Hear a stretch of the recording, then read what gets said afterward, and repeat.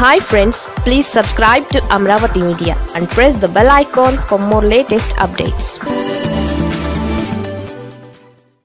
Ramoji పరువు జాతీయ స్థాయిలో తీసేశారా? దెబ్బకు దెబ్బ. ఇదే ఈనాటి రాజకీయం. ఏపీలో సీఎంగా జగన్ ఉన్నారు. ఆయనకు అధికారం అంత సులువుగా దక్కలేదు. ప్రత్యర్థులు అడుగడుగునా అడ్డుపడ్డారు. జైలుకు పంపి పదహారు నెలల పాటు ఆయన్ని అక్కడ ఉంచడంతో తెర వెనుక తెర ముందు శక్తులన్నీ ఏకమయ్యాయి. ఆ తర్వాత బయటపడిన జగన్ రెండు వేల పంతొమ్మిదిలో అధికారంలోకి వచ్చేంత వరకు అవిశ్రాంత పోరాటం చేశారు. ఆయన తండ్రి నాటి కాలం నుంచి కూడా చూస్తే ఆ రెండు పత్రికలు అంటూనే వస్తున్నారు. ఆ తర్వాత మరో రెండు మీడియా ఛానళ్ళు కూడా తోడయ్యాయి. ఇప్పుడు చిలక పలుకులు రాసే ఒక మీడియా అధిపతి ఇంకా టార్గెట్లో ఉన్నా ఆయన దొరకలేదు.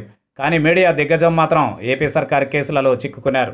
ఆయనే రాజగురువుగా చెప్పుకునే ఈనాడు రామోజీరావు. ఒక మాటలో చెప్పాలి అంటే ఆయన దేశంలో అత్యంత శక్తిమంతులలో ఒకరు. ఆయన వద్దకే అంతా రావాలి తప్ప ఆయన ఎవరి వద్దకు వెళ్ళరని పేరుంది. అలాంటి మీడియా మొఘల్కి చెందిన మార్గదర్శి విషయంలో ఏపీ సర్కార్ కొరడా జుడిపిస్తోంది.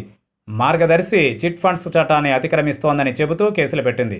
ఇప్పుడు ఏకంగా దేశ రాజధాని ఢిల్లీలోనే ఏపీసీఐడి అధికారులు ప్రెస్ మీట్ పెట్టి మరీ మార్గదర్శి గురించి అక్రమాలను జాతీయ మీడియాకు చెప్పారు.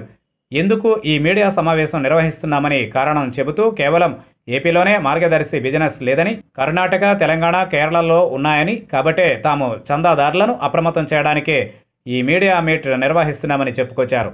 ఇక ఈ మీడియా భేటీకి అంతా జాతీయ మీడియానే పిలిచారు. తెలుగు మీడియా నుంచి ఒక్క సాక్షిని మాత్రమే అనుమతించారు.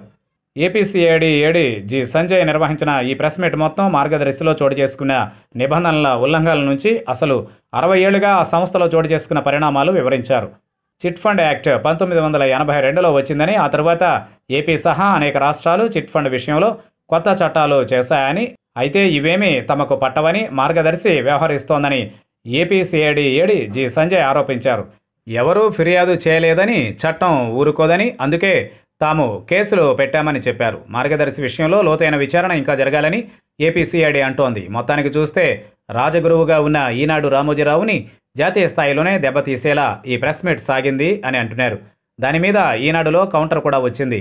చాలా ప్రశ్నలకు ఏపీసీఐడి ఏడి జి సంజయ్ సమాధానాలు చెప్పలేకపోయారని కూడా ఆ కథనంలో పేర్కొంది. ఏది ఎలా ఉన్నా మార్గదర్శి కేసు విషయంలో తెలంగాణ హైకోర్టు సైతం సోదాలకు అనుమతి ఇవ్వడంతో ఒకే రోజు రెండు విధాలుగా ఏపీసీఐడి షాక్లు ఇచ్చింది. ఢిల్లీలో ప్రెస్ మీట్ ఒకవైపు పెడుతూనే మార్గదర్శి విషయంలో హైదరాబాద్లో అర్ధరాత్రి దాకా సోదాలు చేయడం విశేషం. చూడాలి ఈ వ్యవహారం ఎంత దూరం సాగుతుందో మరి.